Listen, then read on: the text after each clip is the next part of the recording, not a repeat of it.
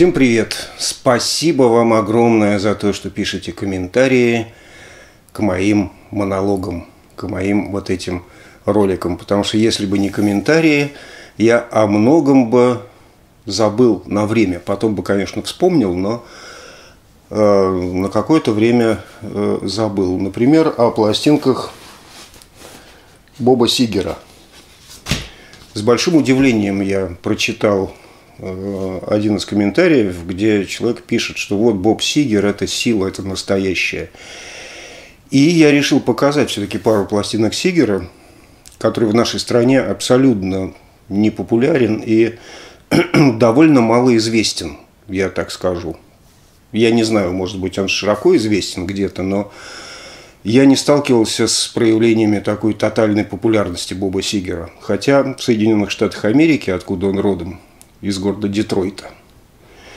Он был и, и, и был, и есть, в общем, если не суперзвезда, суперзвездой он был в э, конце 70-х и 80-е годы. Но, по крайней мере, это один из столпов рок-музыки американской и вообще, что называется, большого рок-н-ролла. Это известнейшая личность, замечательный музыкант, певец, гитарист, автор песен. Работал он в свое время даже с группой Eagles в 80-е годы его попросили помочь музыканты группы Eagles, потому что он, ну, он мега-звезда в Америке. И в Европе, кстати, тоже, между прочим, и в Европе, и в Англии. Как-то вот в Россию его музыка проникает и проникала, но как-то не пришелся он меломаном отечественным широким слоям отечественных меломанов. Хотя я представляю как раз самый широкий слой отечественных меломанов. Вот. Но, тем не менее, Боб Сигер, что такое за музыка у Боба Сигера? Ну, э, для начала я скажу, что первые альбомы Сигера, его группа под названием Bob Seger, The Bob Seger System – это то, что называется музыка рабочего класса. Ну, Детройт, Детройт Рок Сити. Помните песню группы Kiss? Кстати, о группе Kiss тоже мы в свое время поговорим обязательно. вот, музыка рабочего класса. И странно, что она не пришлась по душе отечественным меломанам. Потому что я утверждаю, каждый, кто учился в советской школе, ну, по крайней мере, там 60-е, 70-е, в первой половине 80-х годов – каждый, кто учился в советской школе, является представителем рабочего класса. Кем бы он ни был, профессором, астрономом, космонавтом, биологом, поэтом, писателем, художником, все равно он представитель рабочего класса, потому что в школе маленьким детям, а маленькие дети наиболее восприимчивы, да, впитывают все, любую информацию, в подкорочку заложили, что рабочий класс – это самая важная прослойка общества – ну, так, так была построена система образования в советских школах. И поэтому каждый, кто учился в те годы советской власти в советских школах, является внутри себя представителем рабочего класса, что бы он ни говорил. Те, кто это отрицают, нагло, я нет, я не, не рабочий класс, я аристократ и э, э пью божале. Он является латентным представителем рабочего класса, что еще хуже – но хуже это я пошутил. В рабочем классе ничего плохого нет. Я сам работал на заводе в 1979-80 годах. И ничего страшного со мной не случилось, кроме хорошего, на самом деле. Но кроме хорошего вообще, были и частности приятные. Я, например, с Невского завода, на котором я трудился, вынес приличное количество квадратных метров полиэтиленовой пленки – из которой дома паял пакетики для пластинок полиэтиленовые и засовывал в них пластинки, чтобы пластиковые обложки не трепались. Но это один из приятных моментов моей, моей работы на заводе. Ну, были и другие. Были и другие. На заводе я научился пить портвейн, например. Ну, ну кроме того, я работал с слесарем, ребята, что вы. Все было хорошо. Вокруг была здоровая рабочая обстановка. Ну и рабочий класс – это же Salt of the Earth, как спела группа The Rolling Stones, это соль земли, это то, на чем держится вообще наша планета, я извиняюсь. Не на программистах, нет, нет, нет, на тех парнях, которые работают на заводах тяжелого машиностроения и прочих. Именно на них держится все, а не на вот этом вот хакерстве и прочей э, билиберде. Вот, скажем так. Мощный гитарный, довольно зверский рок-н-ролл Боба Сигера в группе The Bob Seger System. Три пластинки вышло под этим названием The Bob Seger System. Потом Боб собрал другую группу, которая называлась Silver Bullets – серебряные, серебряные пули. И настоящая известность к нему пришла как раз э, с этими серебряными пулями. Концертный альбом э, Silver Bullets являлся одним из ключевых, наверное, концертных альбомов всех времен в Америке. Это была мега популярная пластинка, просто с сумасшедшими тиражами она издавалась и продавалась. Но у нас как-то с этим не срослось, с Бобом. Родился он в 45 году, и музыкой начал заниматься с 61-го. Разные гаражные коллективы у него были. Выпускал он даже какие-то синглы, которых я не слышал никогда. Вообще пластинки Боба Сигера довольно сложно у нас найти в силу его очень локальной популярности. Но, тем не менее, две пластинки у меня все-таки есть. У меня были и Silver Bullets, куда-то их заменял. Куда-то они ушли. И это не от того, что они плохие и мне не нравились, а просто, ну, какой-то процесс обмена шел, и они как-то очень логично вписались в процесс обмена с выгодой для меня, естественно.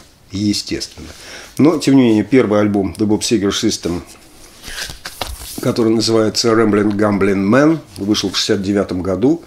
Вот такая обложка, э, не отвечающая тому, что мы услышим на альбоме, не, отвечает, не соответствующая тому, что там внутри. А внутри там ядерный просто ядерный, повторюсь, гитарный, мощный, даже, как сказать, не знаю, ритм и блюз, рок-н-ролл, рок-н-ролл в широком смысле этого слова, в детройском смысле этого слова, то есть грязный, агрессивный, напористый и прущий на вас, как вот просто какая-то огромная машина. Но при этом машина живая, потому что Боб Сигер поет своим хриплым, неистовым голосом, орет и песня, э, пластинка начинается, собственно, с заглавной песни «Rambling Gambling Man», с вопля Боба Сигера из гитарных рифов и понеслось. Ну, здесь все достаточно еще прозрачно. Громко, мощно, жестко перегруженная гитара. Сигер играет сам на гитаре и поет, и бенд играет, и клавишные, барабаны, бас, но достаточно так все прозрачно. Вторая песня тоже ядерная, атомная, бьет в мозг, но она более такая какая-то раздвинутая. Она более раздвинутая, и отечественному слушателю ее слушать наверняка будет приятней. Она более понятна. Не совсем, уж не совсем убойный рок-н-ролл, а все-таки такой ритм и блюз, который ага-ага. Третья песня «Айбери» – это просто психоделическая баллада, а, акустическая, полуакустическая. Ну, под конец все равно там нарастает, нарастает, нарастает. И дальше наросло, уже совсем наросло и заросло плотностью звука, потому что вторую сторону начинают две песни почти по 6 минут каждая. И первая песня построена на жутком гитарном рифе, мощнейший гитарный риф, крики Боба Сигера, но все музыкально. Все музыкально и все это песня, это не просто абы что такое, это нормальный блюзовый такой замес, очень тяжелый. А вторая песня как бы является продолжением первой, но она на басовых историях вся лежит. И там даже не басовый риф, а басовые такие сольные партии, в блюз упакованные, все-таки не выезжающие никуда, ни в джаз, ни, ни в хэви-метал, никуда-никуда а блюзовые истории, басовые, очень хорошо сыгранные. И Сигер продолжает орать и, и, и, и, и вот так вот сметать все своей ядерной гитарой. В общем, пластинка очень хорошая, продавалась вполне неплохо, люди ее слушали, люди ее знали и любили. Вторую пластинку э, The Bob Seger System выпустили, название я его не, ее не помню, у меня ее никогда не было, я ее никогда не слышал, может быть и к лучшему, потому что она была провальная, как пишут все критики. И провальная настолько, что Боб распустил команду и сказал, что он уходит из шоу-бизнеса вообще, из музыки, напрочь. Все, это, это был провал, это была катастрофа, все не поперло, уйду. Но буквально через пару месяцев пришел обратно, собрал новый состав под тем же самым названием The Bob Seger System и выпустил отличный альбом Mangirl, называется он, «Дворняга».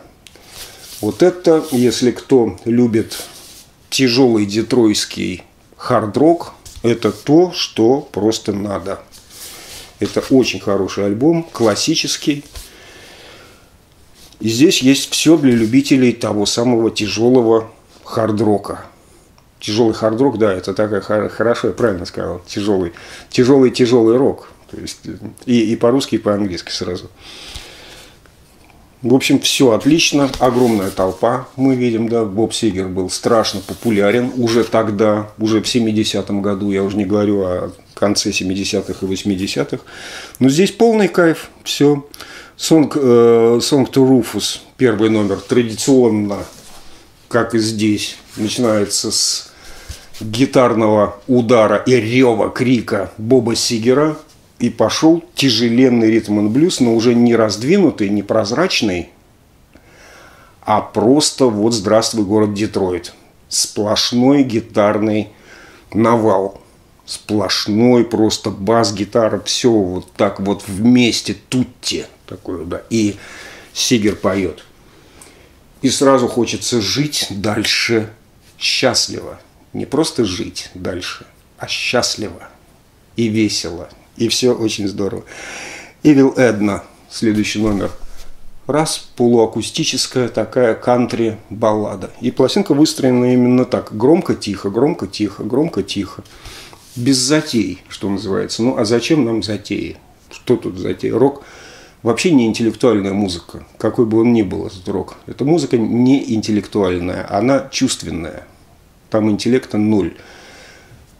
Хоть там Soft Machine, хоть Yes, хоть Genesis, что угодно. Никакого там интеллекта нет. Там чувство, адреналин и энергия, и все, и больше ничего нет. А другое дело, что красиво, некрасиво, кто красивее, кто не так красиво, это уже дело художника.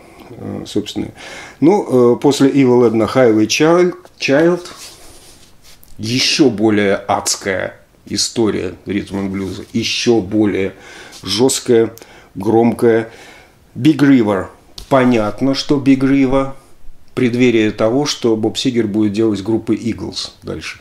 У него вообще крен в сторону кантри вполне отчетливый. Несмотря на гитарный рев, он любил кантри и любит слава богу, эту музыку народную. А когда у музыки народные корни, то все получается очень хорошо и правильно. Ну и дальше э, Мангел, собственно, следующий номер заглавный. Очень хорошая, громкая, яростная песня, достаточно сложная. В отличие от всего того, что было раньше, она достаточно сложная. И э, Люцифер, последний номер, который все критики превозносят и говорят, что это лучшая песня на альбоме. Мне она не кажется лучше, она такая, она мне напоминает какой-то такой русский рок. Та, э, песня, которую можно на лавочке петь под гитару. При этом она очень громкая. На лавочке под гитару с включенным дисторшеном. То есть гитару через дисторшен и на лавочке под гитару вот так вот и, и петь. Гармония подходит под лавочку в полный рост. Ну, очень хорошо. А вот э, Teaching Blues – на, на второй стороне первая песня. Я скажу так, что чикагские блюзманы, я ничего не перепутал, да, это из Детройта, я говорю про чикагских блюзманов, они очень ругались на Эрика Клэптона, говорили, что Эрик Клэптон украл у нас блюз. Я не знаю, что они говорили по поводу песни Teaching Blues, потому что здесь Боб Сигер раскатал классический блюз. Если Клэптон его просто взял, украл и стал играть, так же, как чикагские блюзманы, да, то Сигер раскатал по асфальту этот блюз. Это блюз. Течен блюз – это блюз, двухминутная песня, но она раз... То есть взял блюз и размазал, его просто разнес, разорвал скомкал и э, выпустил в свет. Такой адский рев и драйв, что чикагские блюзмены, которые наверняка эту пластинку слышали, наверное, были в легком шоке, и их пиджаки были осыпаны пеплом. Я не знаю. Ну, а дальше здесь все хорошо. И самое главное, что песня River Deep Mountain High, э, Mountain High кавер, да, она сыграна и спета так, что даже лучше, чем, наверное, Эрик Бёрден ее исполнил. И даже лучше, чем авторы. И даже лучше, чем Deep Purple. Хотя эту песню испортить невозможно. Единственное, кто могли бы ее испортить, это группа Абба, которые, слава богу, ее не исполняли. Испортить сложно. River Deep Mountain. В общем, пластинка мощная, громкая, яростная. И я пошел пить пока.